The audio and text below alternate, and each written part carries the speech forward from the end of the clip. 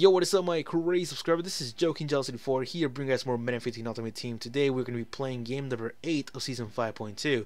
Now, this gameplay is going to be very different compared to the other ones, guys, because this time, we're going to have an opponent repeating the same defensive play over and over compared to the previous gameplay, where we had an opponent repeating the same offensive play over and over, but this time it's going to be on defense. So what happened this time? This time, we got an opponent blitzing in the corners 24-7, the whole gameplay. And now the only way you can take advantage of that is by throwing some screens, throwing some flat plays, and you'll be able to get like around five to ten yards all the goddamn time. It's exactly what I did. I got so many yards on offense. It was just insane, especially on one halfback screen. That's actually two halfback screens were insane. So keep your eyes peeled when I'm in offense. It's pretty awesome when I was in offense. So yeah, it's gonna be pretty fun to see.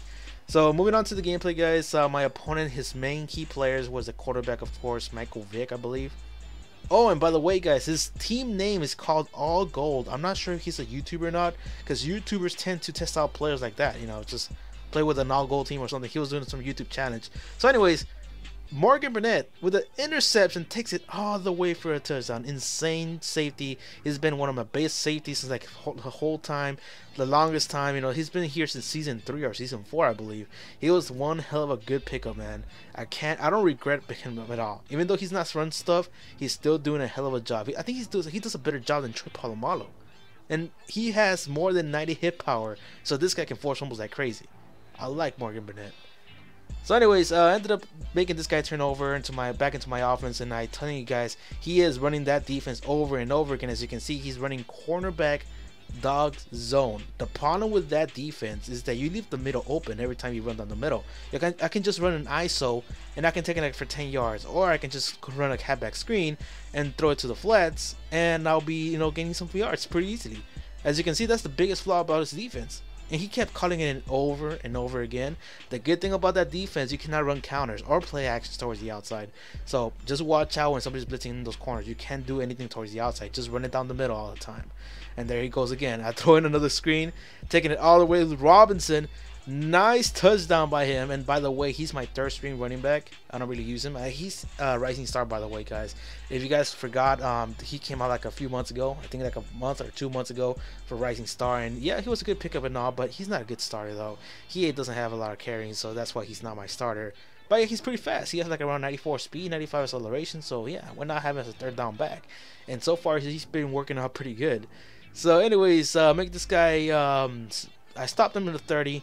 He misses the field goal by an inch. I was like, what the fuck? Good thing I called timeout before that play.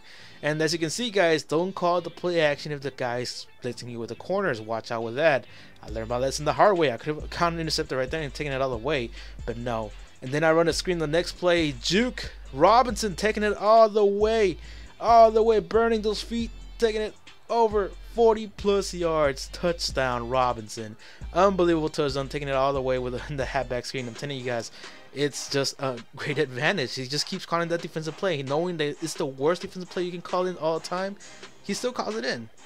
Like learn your lesson people. Do not call in plays over and over again if it's not working. Okay guys? That's my tip to you guys. Do not call in the same play if it's not working. So I ended up back on defense 21-0 third quarter.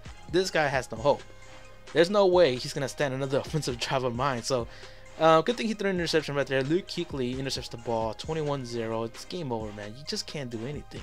You just can't. Especially with that defense, you're never going to stop me. I can just keep on calling screens all day on you, and I'm just going to score again. So good thing he quit, because I, I, I was going to settle down for another touchdown, but I'm like, yeah, I think it's enough about you, you know, wasting my time. So that's it guys, that's my tip to you. Do not call in the same play if it's not working. Please call in something else or learn more about your playbook. That's like that's pretty much helpful advice to you guys, for especially for you guys beginners, beginners. You know, you, you really need to learn the playbook before you step into people like this. You know, just do your best to be creative with your plays. So that's it. Subscribe for more, guys. And also, if you guys like the series, if you guys want to see some support, make sure you leave a like on the video. So I'll see you guys later and subscribe for more.